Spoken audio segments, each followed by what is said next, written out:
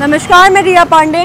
और मैं शिवानी शर्मा। आज हम बात करेंगे पब्लिक से कि चूँकि पाकिस्तानी सेलिब्रिटीज बैन हुए हैं इंडिया में उसमें उनका क्या कहना है उनका क्या रिएक्शन मैडम अच्छा किया ठीक किया यहाँ पे इंडिया के जवान मरे थे उनके लिए तो कुछ ना कुछ तो करना ही था ना। तो अच्छा किया इंडिया ने। इस पर रिएक्शन ये है जो बैन किया है ये बहुत अच्छा किया है। और मुझे तो लगता है इससे भी कुछ ज़्यादा बेटर करना चाहिए था। ये तो पाकिस्तान के लिए खैर एक छोटा सा नमूना है बट इससे ज़्यादा कुछ हो तो इससे बहुत ज़्यादा जितनी भी ये पाकिस्तान जो अटैक हो रहे हैं ये बिल्कुल नहीं होंगे। और इसमें थोड़ी प्रॉप गवर्नमेंट की ऐसे कहते हैं गवर्नमेंट की गलती है बट मुझे नहीं लगता इसमें कोई गवर्नमेंट की गलती है। जो अब जो मोदी ने फाइनली वारंट चालू जारी जारी किया है वो बहुत सही है बहुत बेटर है इसीलिए मैं भी एग्री हूँ।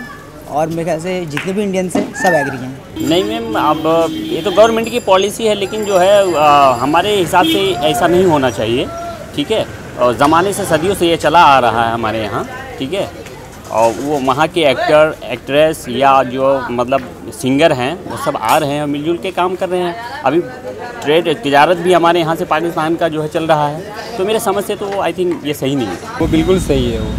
आपको क्यों लगता है कि वो डिसीज़न सही है? वो इसलिए सही लग रहा है कि वो पाकिस्तानी यहाँ पर आके वो वो सिंगिंग करते हैं। बट वो यहाँ के हिसाब से चलते नहीं है। और वहाँ के रहने के बावजूद जो है वो बैन कर देना चाहिए। सिंपल सा बात ये है। सर आपको क्या लगता है ये डिसीज़न सही है? नहीं एक तरह से हमें मिलजुल के एक बार फ्रेंडली हाथ बढ़ाना चाहिए मिलजुल के बात करना चाहिए वो ज़्यादा सही होगा।